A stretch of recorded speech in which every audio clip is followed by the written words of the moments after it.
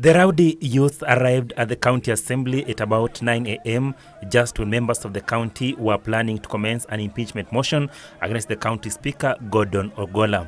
The MCAs accused the speaker of turning members of the public against the county assembly to cover up his corruption tracks.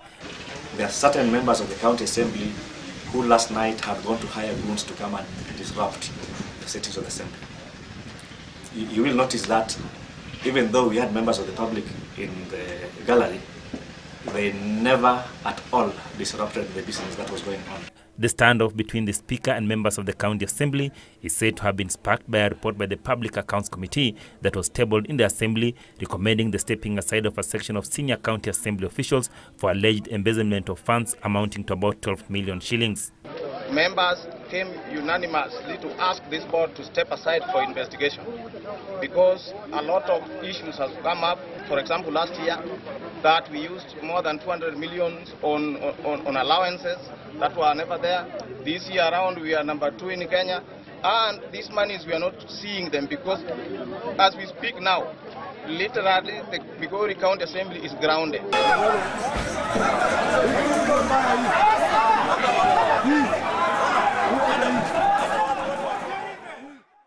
Anti-riot police officers had to be called in to forcefully eject the agitated members of the public. Members of the assembly, however, maintained the demands that Speaker Gordon Ogola immediately steps aside to allow investigations into accusations leveled against him. Migori County Assembly has been consequently adjourned indefinitely due to security issues. Achola Simon for Channel 1 News.